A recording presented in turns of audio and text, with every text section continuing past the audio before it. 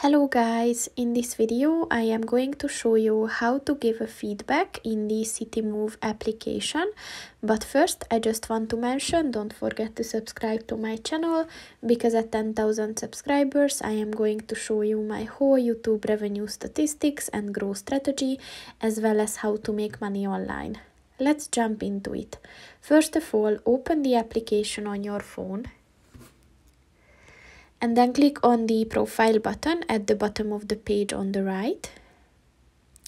And then click on the help and contact button. And at the city move support section uh, click on the give us feedback button. So um, it it is going to help uh, the team of the application to improve um, their uh, services.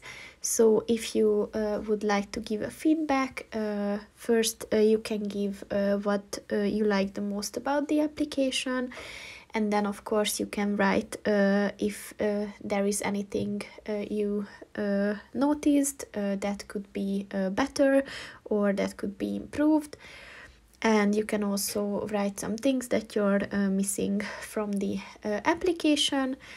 And uh, lastly there is like a 1 to 10 uh, scale uh, where you can give uh, your opinion on um, your recommendation to your friends or colleagues. So once you've done everything just click on the submit feedback button and your um, um, opinions uh, will be sent. So that's pretty much it for this video guys. See you in the next one. Goodbye